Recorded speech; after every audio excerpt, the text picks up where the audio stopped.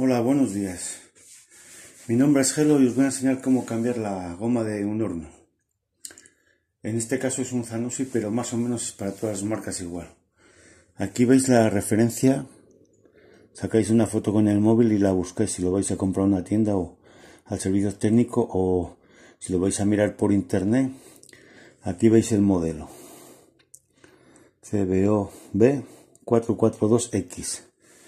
Puede coincidir con la letra. Como veis aquí está la goma rota, lo cual hace que se nos vaya un poco el calor.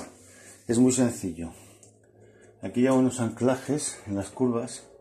Miráis si la goma es de curvas, como esta. Es que lleva una curva. Y aquí lleva el anclaje. Lo sacáis de los anclajes, la vieja. Así.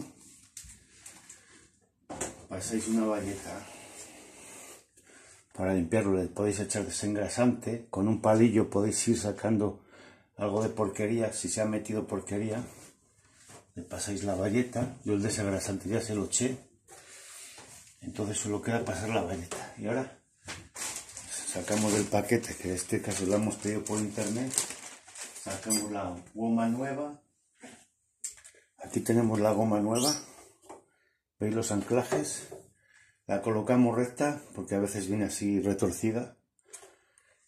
Buscamos el anclaje, metemos uno, otro, dos,